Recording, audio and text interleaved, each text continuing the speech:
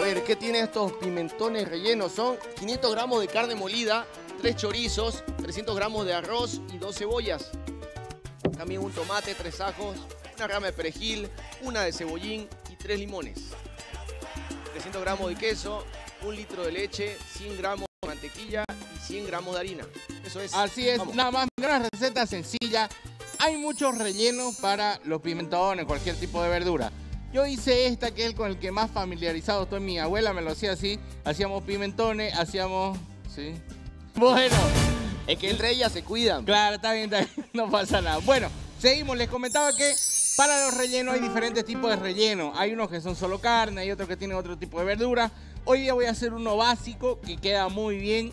Ya se puede hacer para pimentones, para zapallitos rellenos, incluso lo puedes usar para hacer niños envueltos con hoja de parra. Ya. ¿Ya? Vamos a comenzar con las carnes. Yo tengo acá carne molida. Ya, usen carne molida de segunda, tiene más grasita y por consiguiente más sabor. Ahí tengo carne de chorizo. Agarré un chorizo, lo desmenucé y lo saqué de la tripita. La idea de esto es que aporte mucho más sabor. Ahí, mira. La idea es desmenuzarlo muy bien. Y aquí vamos agregando todo el tipo de verdura. Yo, la base, cebollita, muy bien. Porque va a quedar muy bien con la cebollita. Después. Esto eh, se va a cocinar todo en el horno. todo se cocina al vapor. Se puede hacer Al en el horno y se puede hacer al vapor. Mira, ajo, agregamos bastante ajo. No tengan pena con el ajo porque es un sabor bastante bueno, al menos en esta receta. Agregamos tomate, el tomate nos va a dar humedad. Ya, el tomate por consiguiente va a dar humedad para que el arroz se termine de cocinar porque ya van a ver que vamos a poner un arroz Ah, precocido. Esto para que sea más fácil para ustedes. Agregamos cebollita verde. Si Incluso ya lo podría colocar cocido el arroz, ¿no? Podría, sin problema, pero ¿qué pasa? Si vos lo pasás de cocción, ya se revienta y no queda tan bien. Ah, ya. Entonces ahorita les voy a dar el tip correcto. Agregamos un toque de, miren, ahí de perejil, esto a gusto. Y el toque secreto para esta receta es el limón. El limón le va a dar una acidez, una nota de sabor muy buena que cuando ustedes lo coman van a sentir muy buen sabor. ¿Cuánto tiene ahí el limón más o menos? Más o menos un- unos un tres. decía, pero no decía cuánto. Más o menos unos tres limones, dos limones, depende de la Ya. cantidad. Ahora agregamos pimienta, bastante sal. Ahora, depende del chorizo que ustedes tengan. Si tienen un chorizo muy curado, por ejemplo, que es los que se consiguen normalmente, un poquito menos. Ya, los, los curados son los que eh, se hacen ahumado o tienen un proceso previo de curado. Ok. que Este usan sal de chorizo cura. vendría a ser regular. El regular, este normal de carne de cerdo. Agregamos sal, pimienta y aquí viene el secreto. El arroz. ¿Ya? El arroz ustedes tienen que tratar de conseguir el arroz largo, el, arroz, el arroz de grano largo. ¿Qué hice yo? Lo cociné aproximadamente 10 minutos, no más de eso. Los otros 10 minutos lo vamos a terminar en un vapor suave. Entonces, una vez cocido este arroz, 10 minutos lo sacamos, retiramos, lo eh, colamos bien, lo lavamos y se lo incorporamos a, nuestra, a nuestro relleno. ¿En qué medida le pones?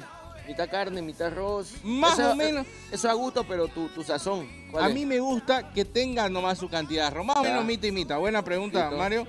Normalmente, por ejemplo, si vas a usar un kilo de carne, usas un kilo de arroz, digamos, más o menos.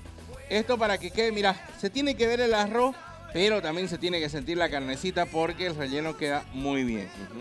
Una vez tenemos este, mira, la idea de esto es mezclar muy bien. No se olviden que la carne está cruda, no la hemos cocido todavía, no la hemos cocinado. Ya. Lo que vamos a hacer es, vamos a, aquí un toque de sal. Aquí la- las dos opciones. Ustedes pueden colocar al horno o al eh, vapor. Ya. ¿Por qué no recomiendo tanto al horno? Porque el arroz le falta cocinar un poquito. Ya le falta unos 10 minutos. Y si no tiene agua o no tiene alguna humedad, no ¿Pero va a esa humedad no sale del tomate? Sí, pero no necesariamente. Yo le digo al ama de casa para que no le pele. Ah, ya. ¿Ya? Para que, para que no, no esté bregando después. Esta es la forma fácil. Pueden hacerlo con al horno, pero con el arroz un poquito más cocido. Para que no tengan problemas. Ya. Entonces, tenemos aquí los pimentones. Vamos a rellenar. Mira, ahí. Bien relleno, no tengan problemas. Tapamos. Y la idea es, miren ahí, que vaya quedando perfectamente tapadito. Muy bien. Meta, vamos a rellenar otro. Nos quedamos, rellenamos. El último paso, colocar nuestros pimentones. Mira, yo tengo aquí una olla a vapor. Acá Ah. yo tengo agüita. Pusimos un colador de, de pasta, nos funciona muy bien. Y vamos con nuestros pimentones. ¿Cuánto tiempo? 10 a 15 minutos ¿Irán a entrar aproximadamente. todos ahí? Por su pollo, pues vamos, lo vamos a acomodar bonito.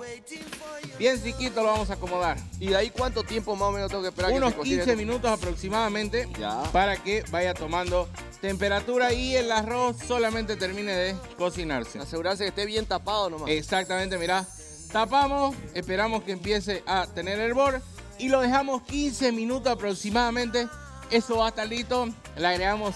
Así quedan más o menos. La idea de esto es dejarlo, mira. Qué delicia. Mira el colorcito. Vos podés elegir dos, tres, lo que vos querrás. La bechamel ya la hemos hecho varias veces. Ya, entonces esa no hay problema. Esa la saca nomás de cualquier receta. Ahí vamos a acomodarlo. Colocamos nuestra bechamel, mira, mira, mira. Mario. Qué Ah, delicia. Mira la bechamel. Y al final le vamos a agregar un toque de quesito. Ahí está. Ay. Queso y lo podés gratinar si querés en el horno, si querés un ratito con un sopletito, nada más. Ahí, mira, ¿Me lo Ah. puedes sopletear? te lo sopleteo, hombre. Eh. Aquí lo tengo listo. Ujú. Mira, la idea de esto es que tenga un doradito, mira. Puede ser en el horno, no pasa nada, no se estresen. Mira, esto nosotros por rapidez. Le da su toque. Mira. Ah. Esta receta. ¡uh! Gracias, Luis, como siempre, saben. con recetas, con Fácil. platos majestuosos, Luisito. Gracias. Exactamente. Muchas gracias Pero a la gente. nos tenemos que despedir también de nuestra invitada.